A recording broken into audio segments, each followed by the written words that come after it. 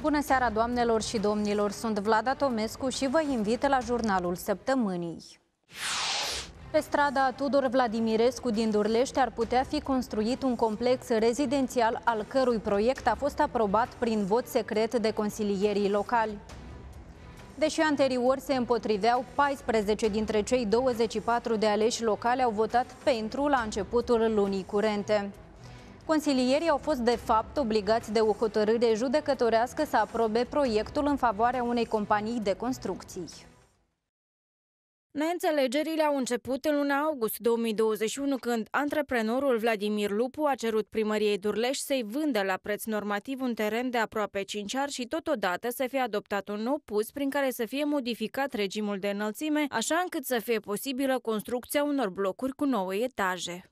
În anul 2021, lunile august septembrie a ajuns prima dată la Comisia Funciară această problemă, uh, unde consilierii uh, din start uh, s-au arătat împotriva acestui plan. Mai mult ca atât, am fost la fața locului, s-a discutat, s-a văzut că, într-adevăr, e un proiect care nu corespunde cerințelor, mai mult ca atât nu avea vizele necesare și mai mult ca atât, chiar și la instanță a fost prezentat un plan urbanistic zonal și în detaliu, care nu a fost nici semnat semnat, nici stampilat de executorii acestui plan urbanist. Antreprenorul a insistat ca respectiva chestiune să fie inclusă pe ordinea de zi a Consiliului, însă fără succes. Ulterior, Vladimir Lupu a atacat în instanță Consiliul orașului Durlești, iar pe 14 decembrie 2021, judecătorul Marcel Gandrabur de la judecătoria Chișinău a obligat Consiliul să emită o decizie favorabilă în privința antreprenorului. Deși a fost contestată, hotărârea a fost lăsată în vigoare în toate instanțele până la Curtea Supremă de Justiție, decizia fiind luată de magistrații Tamara Chișca-Doneva, Ion Malanciuc și Aleona Miron. Trei ani la rând, uh,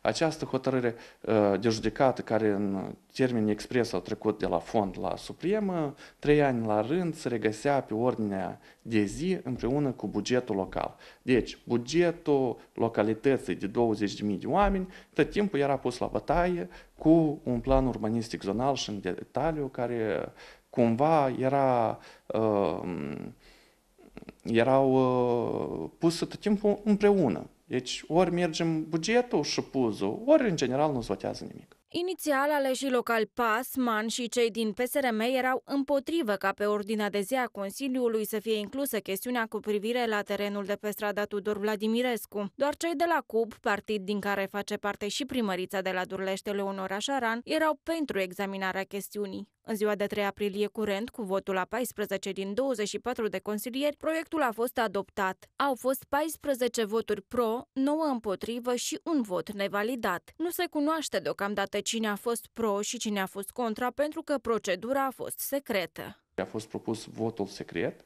uh, și consilierii orașului Durlești au uh, votat pentru ca să fie uh, procedura de vot secret și ulterior, din păcate, s-au găsit 14 voturi din 24 de persoane prezente, uh, s-au găsit 14 voturi care au votat pentru executarea hotărârii judecătorești. Juristul primăriei Durlești spune că s-a ajuns la această situație pentru că de mai multe ori consilierii au exclus de pe ordinea de zi solicitarea operatorului economic privind vinderea terenului. Dar greșeala cea mai mare sau eroarea administrativului Consiliu a fost că ei nu au examinat în primul rând în termen cererile beneficiarului, nu s-au expus referitor la problema cu puz în niciun mod. Absolut în niciun mod. Doar au făcut careva ședințe lucrative care să determine dezvoltatorul să mai cedeze de teren, deja pe noi asta nu Dar oficial, prin emiterea unei decizii, aceștia nu s-au expus părerea sau poziția vis-a-vis de aprobarea puzului pe totodată Tudor Vladimirescu. Asta a fost o greșeală, spune juristul, deoarece, conform legii, dacă cererea nu era examinată în mai multe ședințe consecutiv, persoana poate să meargă în judecată. Deci, consilierii deja ce vor nu mai contează, pentru că există un act judecătoresc definitiv și revocabil prin care îi obligă să emită un act administrativ favorabil.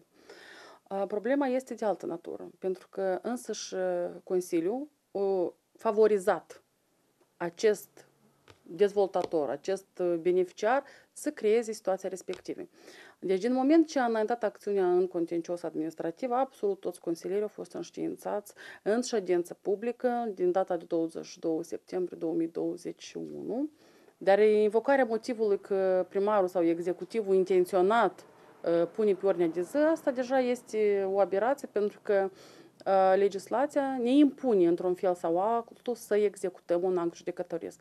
Vrem noi, nu vrem, ne place sau nu ne place, noi suntem obligați. În caz contrar, să aplică măsurile de constrângere cu amenzi și așa mai departe. Potrivit juristului, subiectul a fost abordat și la Centrul Național Anticorupție.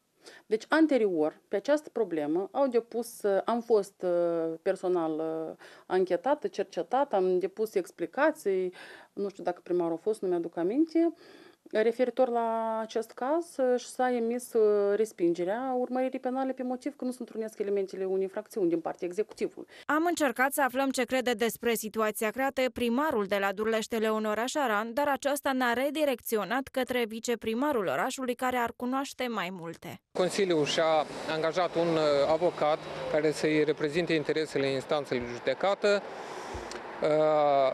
și avocatul a făcut un recurs la Curtea de Apel, prin care a solicitat uh, anularea hotărârii primei instanțe și uh, totodată în uh, cererea de recurs, uh, reprezentantul consilierilor a menționat că uh, consilierii nu refuză aprobarea planului urbanistic zonal, doar că primarul nu pune pe ordinea zi. Un, un pic paradoxal se primește situația la noi. Totodată, puzul pe care au fost obligați consilierii să-l voteze nu este conform criteriilor care trebuie respectate de un plan urbanistic zonal, credale și locali. Reprezentantul companiei de construcții care urmează să ridice complexul locativ în zona rezidențială din Durlești spune însă că are toate actele necesare. Pentru a construi uh, acest ansamblu rezidențial și, mă rog, a realiza proiectul, uh, noi vom ceda din uh, proprietatea privată a noastră noastră 90 de ani în folosul comunității. Din ceea ce se discută la noi în echipă, toate actele sunt în regulă. Din câte cunoaștem noi la moment, totul este în regulă. Consilierii locale au votat proiectul și noi suntem în pregătiri deja. Conform proiectului, pe strada Tudor Vladimirescu din Durlești ar urma să fie construit un complex rezidențial cu blocuri de 9 etaje. În primele luni ale acestui an, președintele Maia Sandu a primit cadouri prețioase, printre ele un covor de lână, o icoană de aur și o brățară. Covorul, care valorează peste 17.000 de lei, este cel mai scump dar oferit șefei statului de către ambasadorul Azerbaijanului. În total, șefa statului a primit 8 cadouri. Valoarea de piață acestora se ridică la 31.445 de lei. Darurile cele mai ieftine oferite mai Sandu de la începutul anului curent sunt o placă personalizată cu gravura stemei Serviciului de Protecție și Pază de Stat și un tablou suvenir, care reprezintă mărțișorul. Ambele cadouri au fost estimate la 250 de lei. Cel mai scump dar primit de șefa statului a venit din partea ambasadorului Azerbaijanului la Chișinău, care i-a oferit mai Sandu un covor de lână tradițional de 6 metri pătrați, cu ocazia ceremoniei de acreditarea ambasadorilor agreați. Valoarea cadoului se ridică la 17.490 de lei. Șefa statului a mai primit din partea familiei regale românești o brățară și un pandativ cu 10 petale din alamă placate cu aur, de 14 carate, a căror cost se ridică la 1740 de lei. Pe lista de daruri se mai regăsesc o icoană în ramă placată cu aur și argint, acoperită în veșminte cu cristale și perle, cărți și o tavă din staniu. Toate cadourile protocolare au fost trecute în proprietatea instituției prezidențiale. Referendumul privind aderarea la Uniunea Europeană urmează să aibă loc pe 20 octombrie. Curtea Constituțională a avizat proiectul de lege pentru modificarea Constituției, care prevede organizarea plebiscitului și introducerea dezideratului în legea supremă.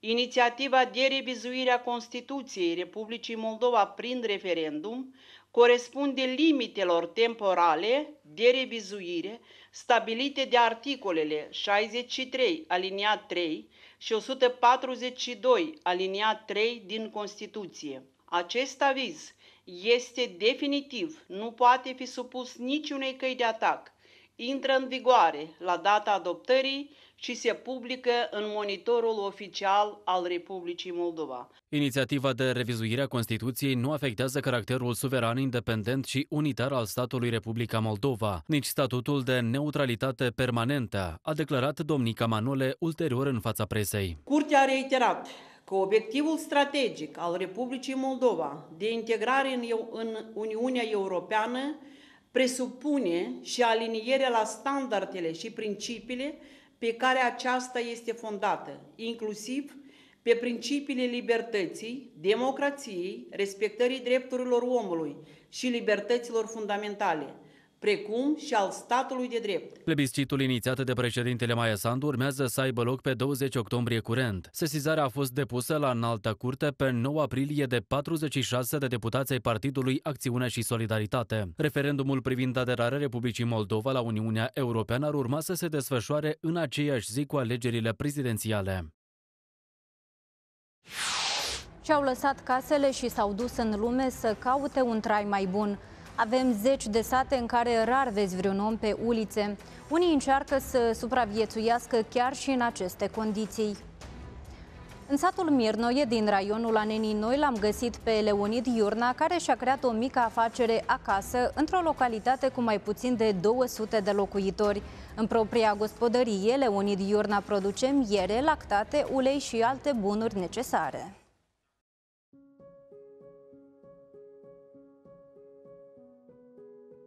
Здесь жили теща с тестем, так получилось, что они скоропостижно скончались, и надо было что-то решать с домом. Либо его продавать, э, либо оставлять бесхозным, либо сюда переселяться. Мы э, выбрали третье. Ну, жена так и продолжает ездить в Кишинев на работу. Мне пришлось оставить работу в Кишиневе. А так как выживать надо, то пришлось заняться пчелами, Там по наследству осталось пару коровок. Să faci o afacere într-un sat cu o mână de oameni este extrem de greu, iar pasiunea se transformă în supraviețuire, spune Leonid Iurna. Я сделал вайбер-группу, у меня 100 человек. В течение недели мне оставляют заказы, там килограмм творога, килограмм сметаны, полкилограмма масла. В воскресенье я везу в Кишинев и делаю развозку. Fermierul zice că dacă ar exista mai multe posibilități pentru producători, aceștia ar fi tentați să rămână în sat și să-și dezvolte afacerea. Если я вот говорю в городе, человек может быть хорошим специалистом, учителем, бухгалтером, менеджером каким-то, он уже пристроен. Здесь, чтобы выжить, с утра ты зоотехник, ветеринар, агроном, технолог по молочной промышленности – Что-то поломалось, поломалось ты кузнец, столяр. Nu departe de satul Mirnoe se află și localitatea Batic, unde numărul de locuitori este de șase ori mai mic. Satul Batâc este acum asemenea unui teren în paragină. Datele recensământului din 2004 arătau că în localitate sunt aproximativ 30 de oameni, de atunci numărul acestora s-a redus.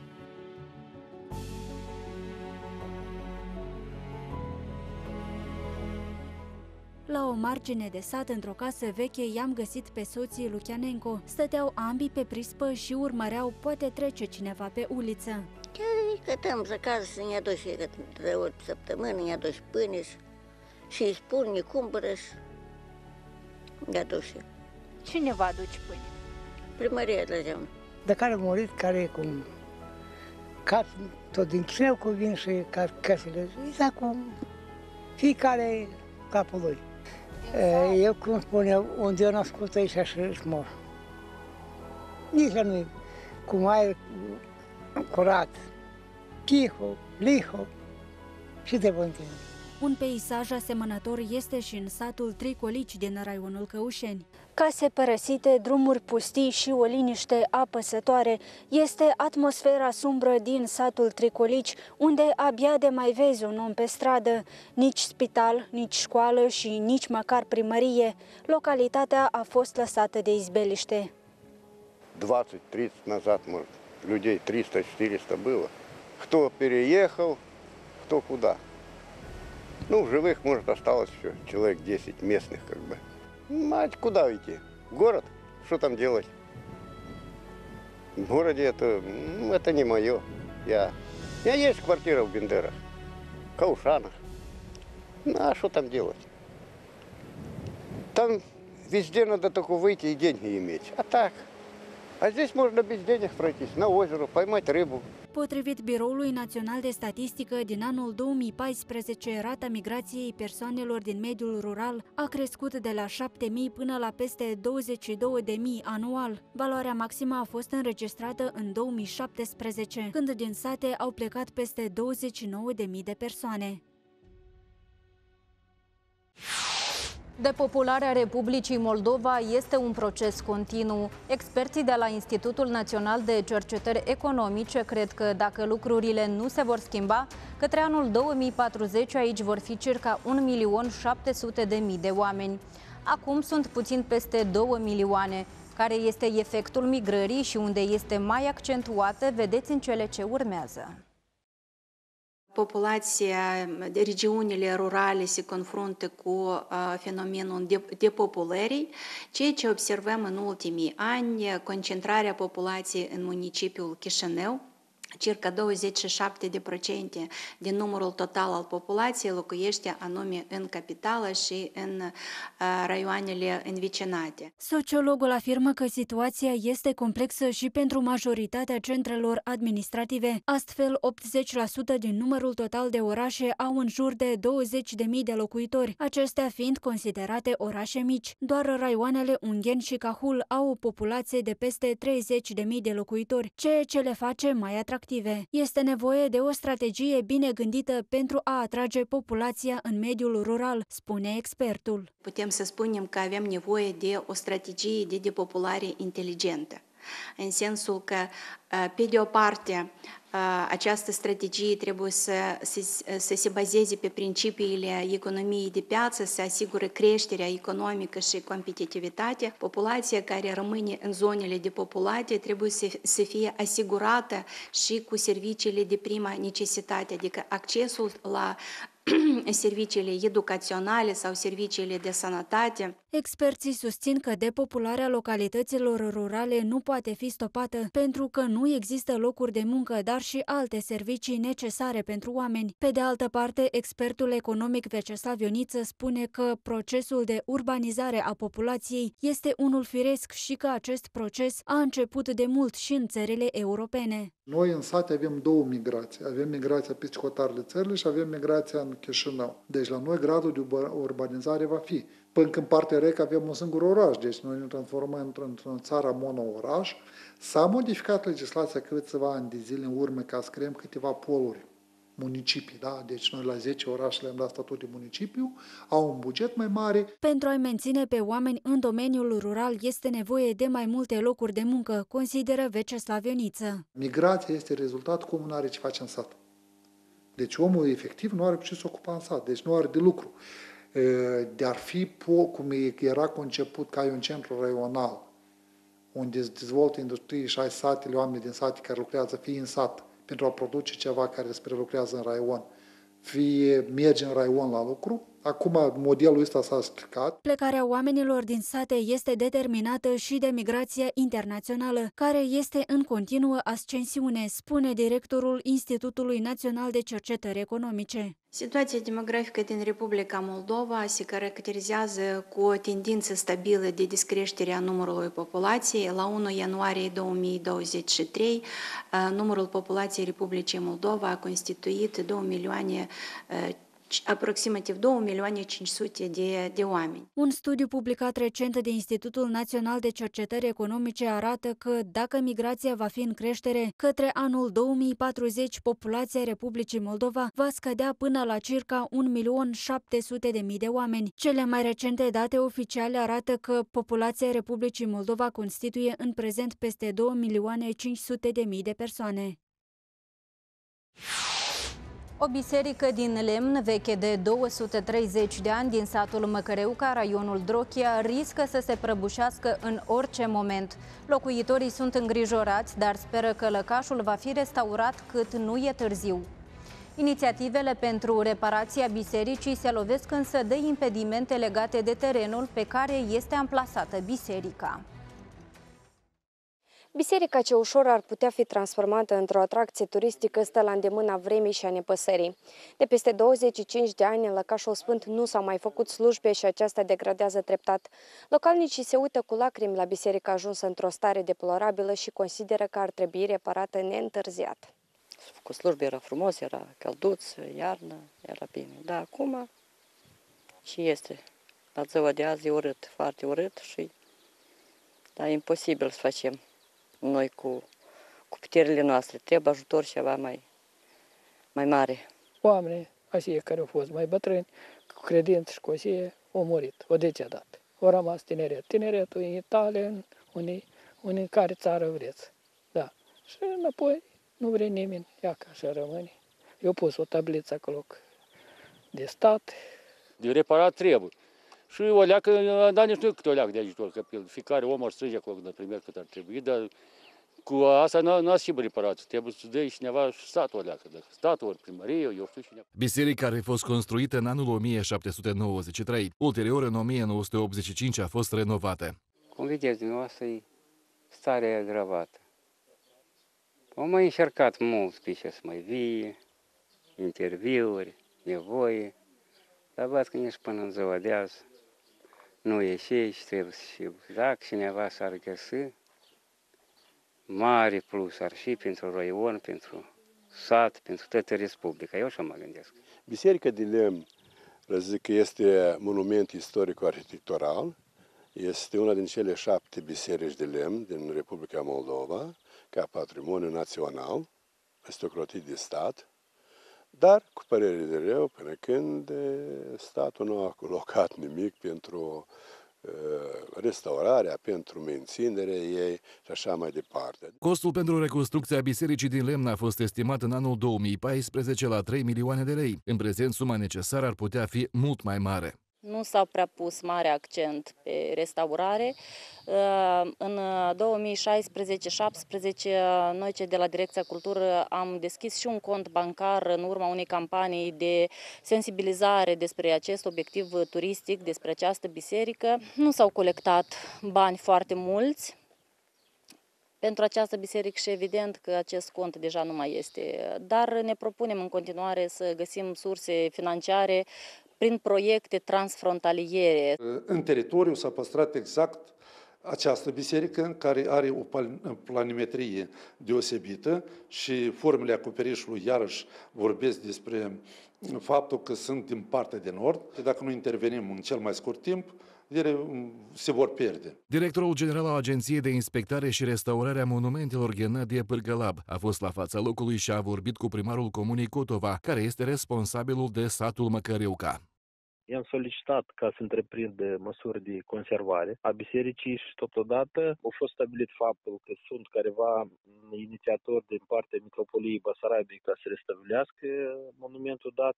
Este o schiță de proiect care a fost înaintată la Ministerul Culturii, la Consiliul Național al Monumentului. Deci s-au pornit, s-a pornit procesul. Deja pe parcurs vedem cum reușim să le facem ceea ce ține de reparație. La moment, apeleul nu dispune de finanțe. Doar dacă o să contribuie guvernul, parlamentul, doar cu ajutorul lor vom restabili acest monument istoric, această biserică. Primarul Comunei Codova ne-a mai spus că inițiativa Metropoliei Basarabiei de a restaura biserica s-ar putea să nu se materializeze. Asta pentru că terenul pe care se află lăcașul de cult este în proprietatea Metropoliei Moldovei. Autoritățile locale așteaptă un răspuns de la Metropolia Moldovei cu privire la posibilitatea de a oferi terenul pe care se află biserica. La ore fără telefoane, gadgeturile ar putea fi interzise în timpul lecțiilor, iar un grup de lucru va examina reglementarea utilizării acestora în școli. Opiniile celor vizați direct sunt împărțite. Mai toți profesorii salută inițiativa Ministerului Educației, întrucât, spun ei, le este dificil să capteze atenția copiilor dependenți de telefoane. Elevii însă mai ezită. Deseori, gadgeturile ne ajută să căutăm informații, spun ei. Unii tineri nici nu pun la îndoială faptul că utilizarea telefoanelor mobile în timpul lecțiilor este un lucru inacceptabil, alții nu. Telefonul este drept o sursă de informare, insistă aceștia din urmă. Cred că, profesor, că ipoteza profesorilor că telefoanele ne încurcă sau ne distrag de la lecție are dovadă certă, pentru că uneori profesorii chiar ne observă cum suntem captivați și intrigați de ceea ce se află pe micile ecrane. Cred că nouă ne-ar fi extrem de greu să acceptăm o nouă regulă. Consider că telefoanele sunt un obiect important în viața cotidiană, însă la școală cred că ar fi bine ca telefoanele să fie excluse. Consider că restricționarea telefonelor reprezintă beneficii, deoarece adesea elevii au impulsul de a verifica telefoanele în timpul orelor, ceea ce îi desconcentrează. Prin uh, restricționarea telefoanelor, elevii se vor putea concentra mai bine asupra orelor și va fi o probabilitate că vor obține rezultate mai bune la învățătură. Sunt uh, contra luării sau suspendării telefoanelor. Noi putem uh, identifica uh, informația necesară, putem uh, să privim uh, un documentar uh, solicitat de profesori. Profesorii salută inițiativa Ministrului Educației. Telefoanele mobile în timpul orilor distrag atenția elevilor de la subiecte discutate în cadrul orilor, fapt ce determină ca să scadă din calitatea și randamentul lecțiilor. Sunt de părerea că este foarte corect. Ei din 24 de ore și petrec foarte mult timp cu gadgeturile. Și atunci este, cred că o să fie cel mai eficient și efectiv calitativ și niște studii mai bune la un nivel mai înalt și tocmai nu o să fie traumați copiii. Administrația liceului spune că în instituție există cutii în care elevii depozitează telefoanele în timpul orelor, iar la final aceștia le recuperează. La noi în instituție, de comun acord cu părinții, deci avem uh, acele spații amenajate, acele cutii, acele uh, dispozitive unde elevul poate să-și lase telefonul mobil pe uh, parcursul lecției și să valorifice la maxim potențialul său intelectual. Deseori noi monitorizam cumva că copilul, în loc să fie axat pe ceea ce vorbește profesorul în cadrul orei, era tentat să verifice noutățile din spațiul uh, online. Ministrul Educației, Dan Perciun, a declarat recent că va insista pe completarea codului educației privind accesul la ore a elevilor cu telefoane. Potrivit lui Dan Perciun, va fi creat un grup de lucru care să examineze problema sub toate aspectele. După o scurtă pauză, vă invităm să urmăriți prognoza meteo pentru anul 2050. Stați aproape ca să vedeți de ce este important să conștientizăm schimbările climatice. Republica Moldova este una dintre cele mai vulnerabile țări din Europa la schimbările climatice, fiind predispusă la inundații și secete. Doar inundațiile din 2008 au provocat pagube de peste 120 de milioane de dolari, iar secetele care au avut loc între anii 2007 și 2012 au provocat pierderi de peste un miliard de dolari. Dacă adulții de azi nu vor lua măsuri urgente, prognozele vor fi sumbre, atenționează PNUD Moldova, care s-a alăturat campaniei globale de sensibilizare a populației desfășurată cu sprijinul Organizației Meteorologice Mondiale Weather Kids.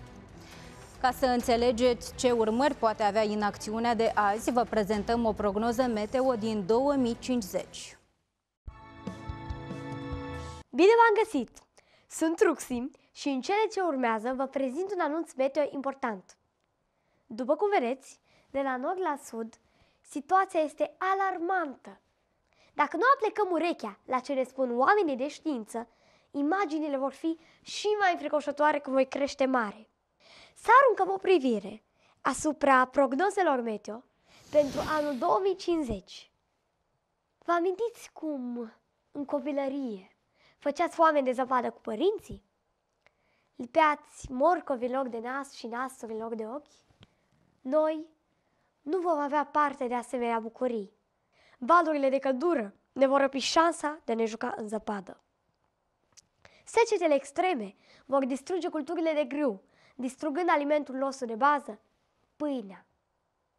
Iar dezastrele naturale ne vor bate la buzunar cu aproape 6 trilioane de dolari. Sunt bani pe care îi vom plăti cu toții din propria pușculiță. Bineînțeles, toate aceste dezastre sunt cauzate de un strat de poluare care reține căldura în atmosferă și care ar putea să nu existe dacă noi, adică voi, veți depune mai mult efort. Altfel spus, mai avem șansa la un cerc senin deasupra capului. Chiar în aceste momente, sistemele de energie verde se mișcă dinspre est spre vest, generând o mulțime de noi locuri de muncă. Iar prețurile la energia solară au scăzut cu mult sub cele la petrol și gaze. Dacă ne uităm atent la imaginile din satelit, apare speranța că totuși adulții ar putea exercita presiune pentru ca pericolul să se risipească și care să protejeze copiii și viitorul de dezastre. Suntem conștienți că inițiativa adulților de a ne proteja va trebui să facă față inclusiv uraganelor politice. Însă acestea nu se pot compara cu puterea uraganului Aleona, care este mama mea. Noi vom continua să vă informăm despre modul în care maturii vor reuși să se mobilizeze și să rezolve această criză climatică. Ce v-am prezentat astăzi nu este un simplu anunț meteo, este viitorul nostru.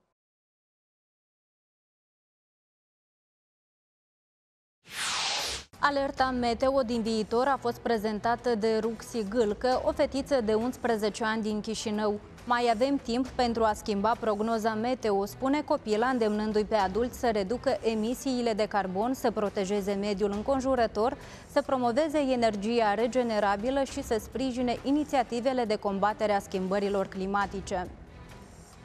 Puteți semna apelul privind asumarea acțiunilor climatice imediate vizitând site-ul campaniei www.weatherkids.org.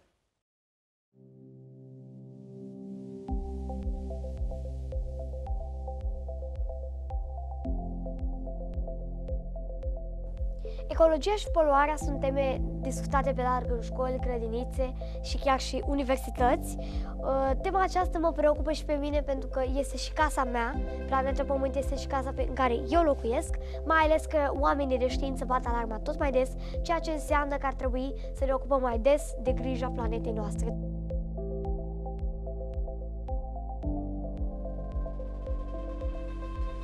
Mi se pare absolut incorrect și inconștient față de noi și generațiile viitoare că adulții de azi sunt nepăsători față de natură, mai ales că natura ne este casa noastră. De exemplu, generațiile noastre, acum eu, de-abia dacă am văzut de câteva ori în viață zăpadă.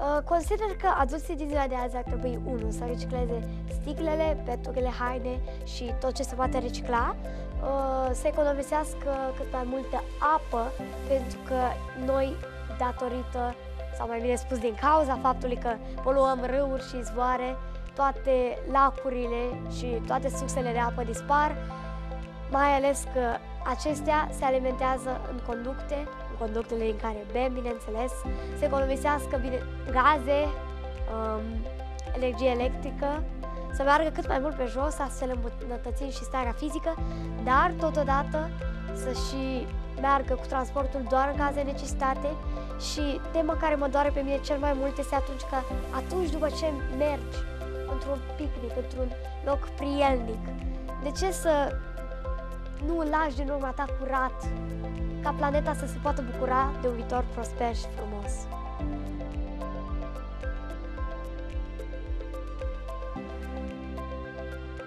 Mai ales în uh, ultima perioadă, consider că copiilor ar trebui și le-ar fi mai interesant să li se organizeze excursii în uh, care să li se vorbească despre poluare și ecologie, să se documenteze apoi ei prin exemplul adulților, că asta depinde foarte mult, să planteze copaci, să stângă cu noai și să le pună în locuri amenajate, special amenajate, să se ia după propriul exemplu al naturii. Cum va fi clima în 2050? Depinde doar de noi și de responsabilitatea noastră. Dacă vom fi nepăsători față de natură, în 2050 nu vom avea cele patru anotimpuri favorabile și temperaturi prietenoase, așa cum sperăm. Dar dacă vom depune tot efortul de care avem nevoie, în 2050 Vom avea speranța și chiar și șansa să avem niște temperaturi minunate de a ne juca afară și iarna să avem zăpadă. Iuha!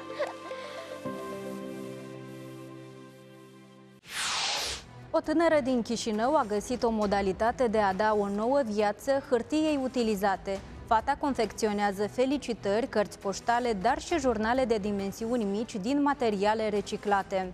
Natalia Loșmanski îi implică în acest proces și pe membrii familiei și spune că astfel îi învață pe cei dragi să aibă grijă de mediul înconjurător.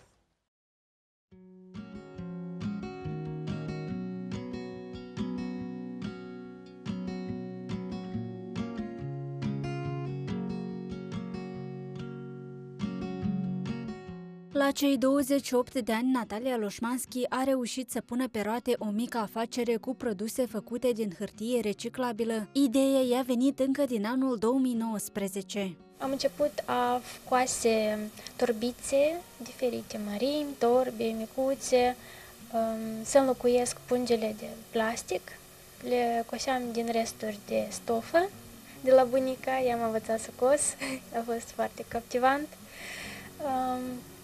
Um, Mereu m-am gândit ce să fac cu hârtia. Am privit multe videouri pe YouTube, m-am inspirat de la mulți vloggeri, chiar și mămici care făceau cu picii hârtie. Eșecuri au fost multe, spune Natalia. Acum își amintește însă cu zâmbetul pe buze de primele sale încercări în modelarea hârtiei. Erau groase, se rupeau foarte ușor, adică nu puteai să le îndoi. și când scriai sau desenai cu acuarelă, se îmbiba foarte multă apă. În procesul de reutilizare a hârtiei este implicată și fica Nataliei de doar 2 ani. Așa. Hop. Și ridică. Am pus pe masă caserolă cu ramă, rame.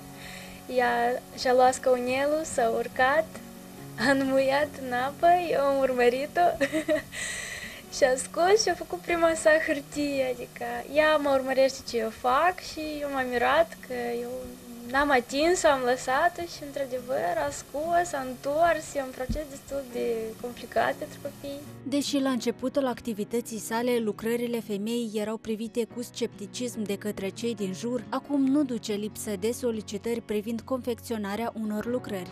Oamenii sunt uh, interesați, ok, uh, de la început uh, întrebau chiar din, din hârtie de procente reciclate, se poate desenat pe ea ce se poate făcut, felicitările sunt desenate sau cum, pe ce hârtie. Însă, dacă particip mai des, deja mă cunosc și sunt interesați nu să ia felicitări sustenabile. În preajma sărbătorilor pascale, la Muzeul de Etnografie și Istorie Naturală s-a desfășurat un atelier de încondeiere a ouălor.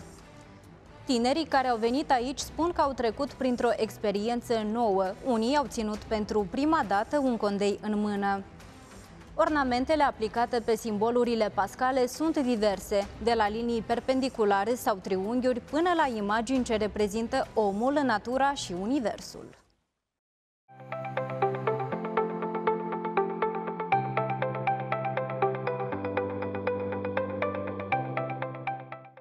Prima etapă este cea mai dificilă, însă rezultatul bucură ochii, spun elevii. Pe ul meu am simbol precum floarea, deoarece este primăvară. Am picături de ploaie, care semnifică apa.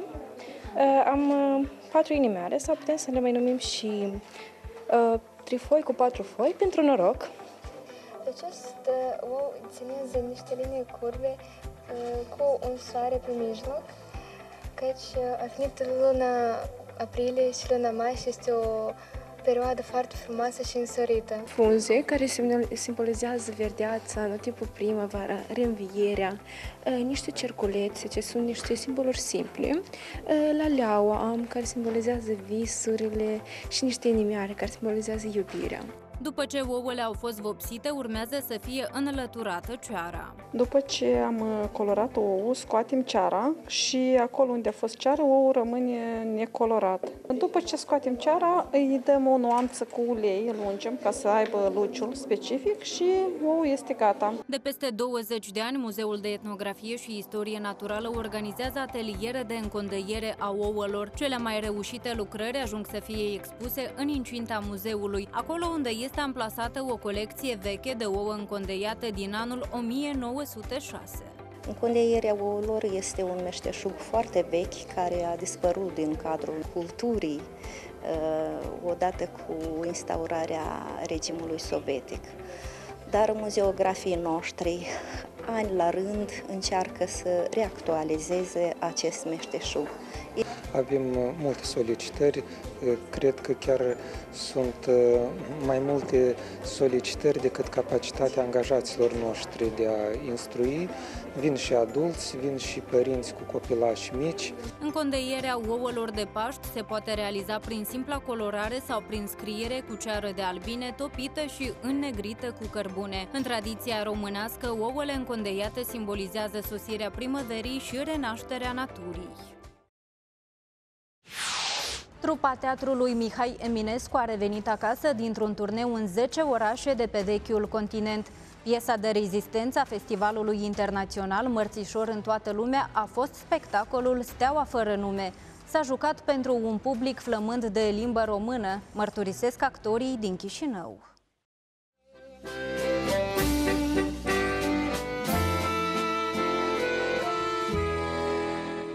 Spectacolul Steaua fără nume de Mihail Sebastian în regia lui Alexandru Cozub a impresionat Europa. Actorii au reușit să transmită emoții puternice, indiferent de granițele geografice sau lingvistice. Evenimentul a început pe 6 martie în orașul portughez Cascais, după care au urmat altele nouă Frankfurt, Madrid, Santander, Padova, Milano, Paris, Londra, Dublin și, într-un final, Bruxelles. Noi ne-am întors cu acea validare din partea publicului că ceea ce facem este necesar și este util, pentru că sălile arhipline care, pe care le-am avut în străinătate, plus uh, oameni care au mai rămas și în afară, pentru că n-au avut loc în săli, așa cum s-a întâmplat în Spania, spune ceva, că e nevoie de teatru. Și am jucat uh, pentru un public flămând de limbă română, un public care rezonează exact cu ceea ce simțeam noi în scenă, pentru că e și replica dumnealor că teatru în Europa nu că e mai bun sau mai rău, e, puțin, e doar altfel. Ori publicul nostru simte așa cum simțim și noi cei de acasă.